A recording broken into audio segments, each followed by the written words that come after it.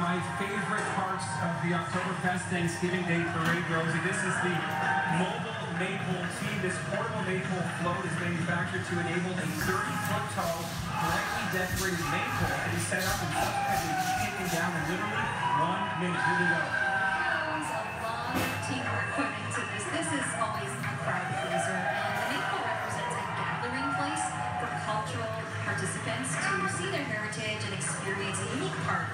Oktoberfest celebration. And now they've uh, put it up. They have to take it down to go and do it.